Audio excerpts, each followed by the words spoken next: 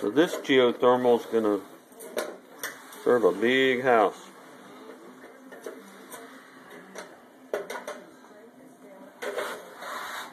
There's the pumps. So you're using that one water heater as a tank.